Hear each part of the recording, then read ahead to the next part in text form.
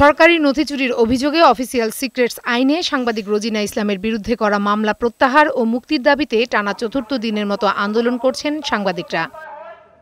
Dhaka reporters ইউনিটির সামনে প্রতিবাদ কর্মসূচিতে অভিযোগ করা হয়, সাংবাদিকদের বিরুদ্ধে নানামুখী অপতৎপরতা চালাচ্ছে আমলারা। রোজিনাকে হেনস্থা করতে পূর্ব পরিকল্পিতভাবে কালো আইন প্রয়োগ করা হয়েছে।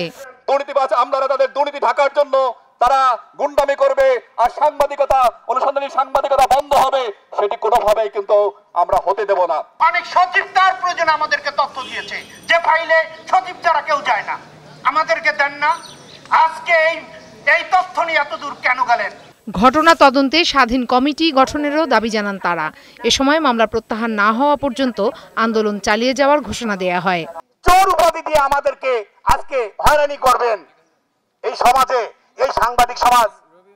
তা কোনোদিন আমরা মেনে নেব না। ঢাকা রিপোর্টার ইউনিটির পক্ষ থেকে তদন্ত কমিটি করে এই ঘটনার প্রকৃত রহস্য আমরা জনসম্মুখে প্রকাশ করব।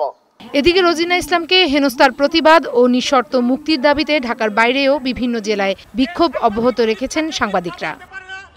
ফারহানা জুথি, বৈশাখী সংবাদ, ঢাকা।